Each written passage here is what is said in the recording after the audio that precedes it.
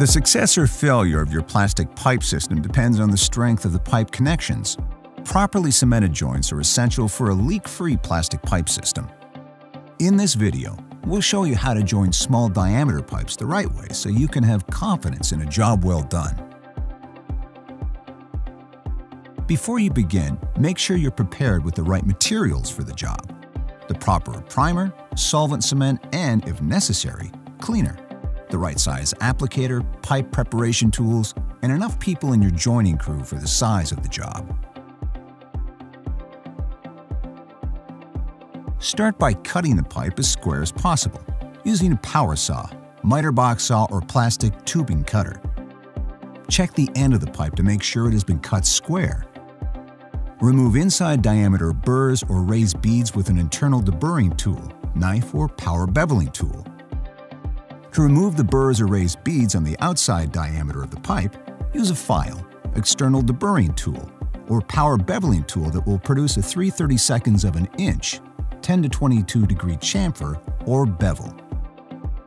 Now, with a clean, dry rag, wipe away any dirt, grease, shavings, or moisture from inside and outside the pipe, pipe bell, or fitting socket. You need to make sure all the surfaces you're going to join are free of foreign material. This includes any chemical, paint, coatings, or any other residue which may have stuck to the pipe during storage. Next, check the fit. A good dry fit occurs when the pipe enters the fitting at least one-third to two-thirds of the way into the socket without being forced. This dry fit should not be too tight or loose enough to jiggle. A net fit occurs when the pipe bottoms into the fitting socket with no interference. Measure the fitting socket length and mark this distance on the pipe outer diameter to indicate to where the primer and solvent cement are to be applied. To ensure the fitting has been fully inserted, add a couple inches to this distance and make a second check mark on the pipe, as the primer and cement will remove the first mark.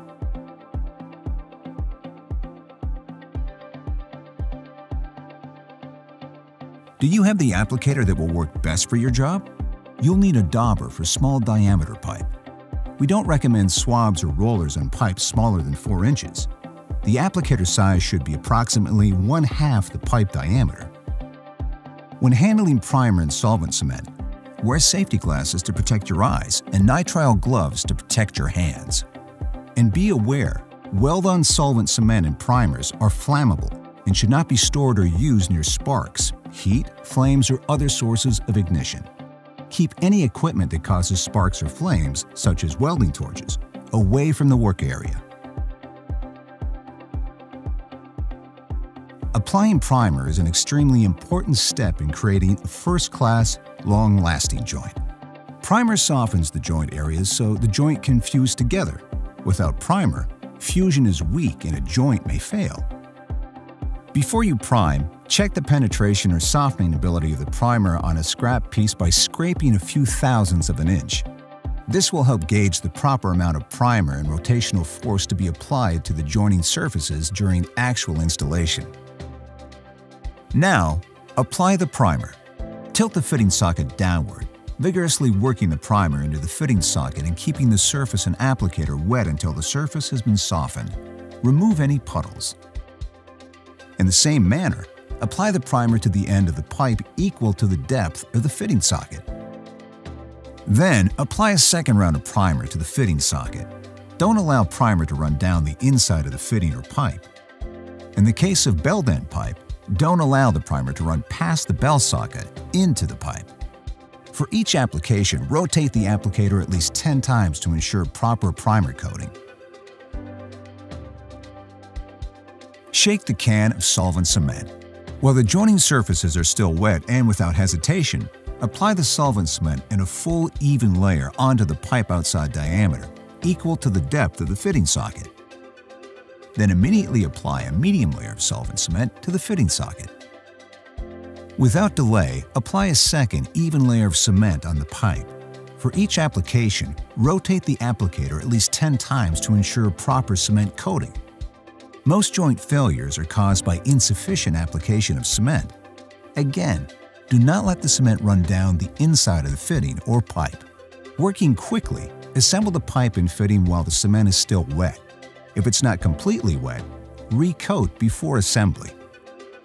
Push the fitting onto the pipe and rotate it an eighth to a quarter turn until it reaches the pipe stop.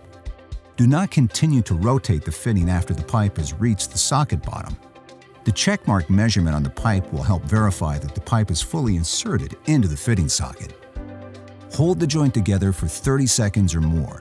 This will eliminate movement or joint push-out. Finally, wipe off the excess cement, including the ring or bead around the socket entrance.